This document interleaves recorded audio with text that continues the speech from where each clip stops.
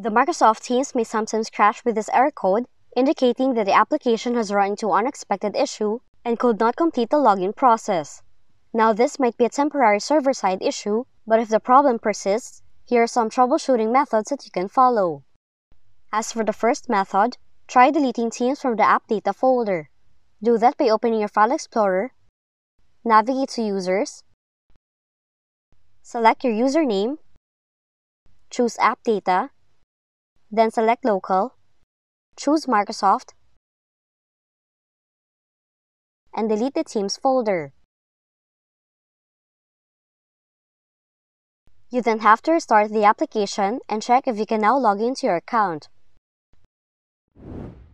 Next, try to reconnect your Teams account in Windows by navigating to Settings, click on Accounts, click Access Work or School, locate your Teams account, and then disconnect it. Now you have to wait for 30 seconds and then reconnect your account.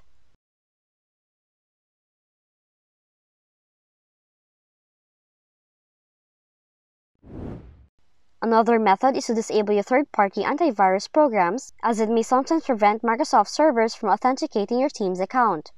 But for this demonstration, we would only show how to disable the Windows Firewall. So all you have to do is search for Firewall from your computer, click on it, and you can turn off the security tool on each settings. Once done, restart your Microsoft Teams and check if you're still getting the error code and do not forget to re-enable your security tools after logging to your Microsoft Teams account.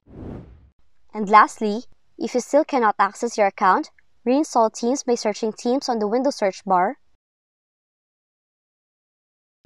right-click on it, and then select Uninstall.